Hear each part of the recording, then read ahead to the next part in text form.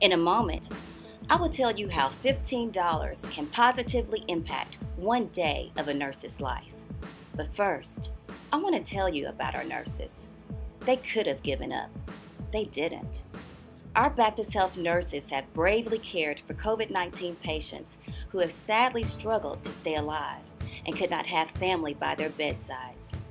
In some cases, they have had to help families say goodbye to their loved ones. It has been an emotional struggle for them, but they continue to sacrifice and serve our community. They fight for you today, and they will do it again tomorrow.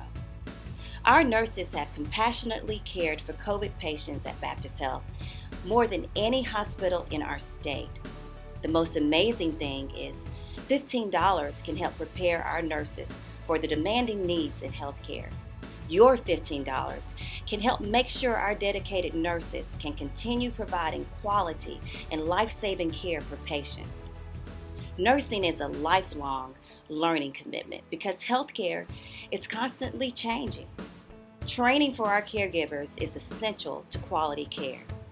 In many cases, it makes a difference between life and death for our patients. Will you give $15 towards one day of education for a nurse? Like this pandemic, our nurses are persistent. They will never give up. I hope you won't give up on them either. Please send a gift today.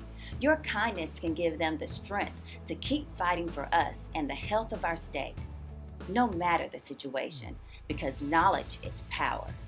What a special way to champion our committed caregivers. Your gift will show gratitude and encourage our nurses to never give up. Thank you.